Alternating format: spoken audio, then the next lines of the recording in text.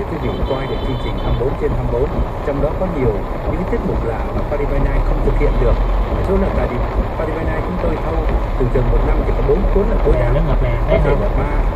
Và tối đa là bốn cuốn thì tất cả những cái khả năng à, những cái sáng tạo về nghệ thuật của Xe Phương Thứ Nga không thể nó dồn hết vào trong các chương trình đây nhưng luôn. hôm nay quý vị chắc chắn là quý vị vô đây nó phải đi từ lòng dưới lên chứ lần này đâu có thế nào? Nó bắt ca qua đây nè quý vị có một cuốn DVD à thì quý vị ờ, ờ, là nó đã hoàn chỉnh rồi nhưng mà quý vị không thấy được. Sau lưng chúng tôi người ta vẫn đang hò hét khiêng bàn khiêng ghế để đổi cảnh. Có nhiều khi quý vị kia nó không chạy nó lớn của mình mình mới ghê thằng này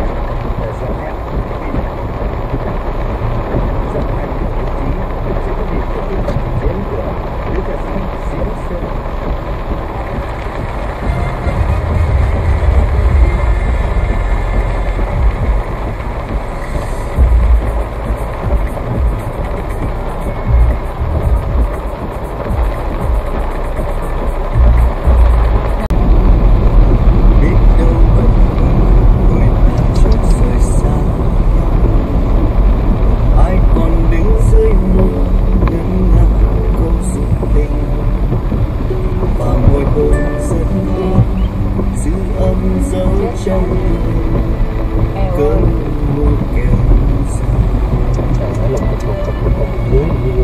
nước vô hả? Hả? nước nó xong sạch vô trời ơi bên nửa bánh xe luôn kìa.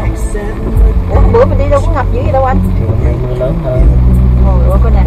Vì tình yêu mong tội nghiệp chứ. cái xe này xe này tập theo cái xe thấy xe tập thấp trời ơi, nguy cơ vô nước xe máy. Xe hơi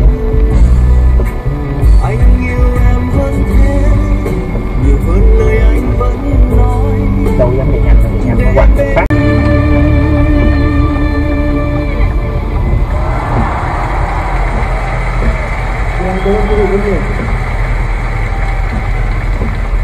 Thưa quý vị, à, trong tình yêu có lẽ những cái khoảnh khắc đẹp nhất là những cái khoảnh khắc mình đang chờ đợi người yêu.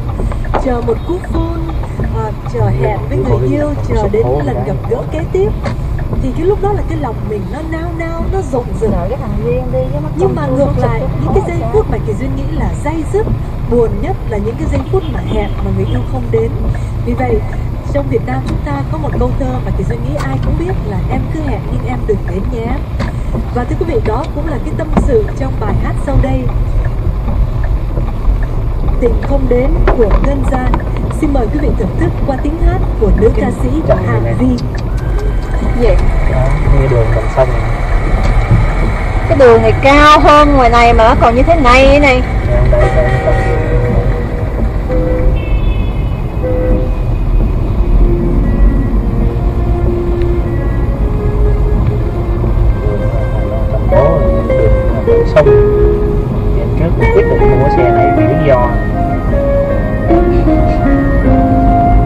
gì đó. Đường nó, lộ, lộ nước được nửa mét khiếp mua xe khác không có tiền mua đâu ta quyết định mua xe này. Ủa mấy cái xe gầm thấp đẩy thầy em là mua Fiesta đó. Fiesta nó cùng y chang mấy cái này mà. Mấy cái xe của Kia nó cũng đẹp lắm rồi. Option đúng trời ơi nó ngập tới đây quá trời. Ở đây thì hết rồi trong mình thì cao rồi nè đấy.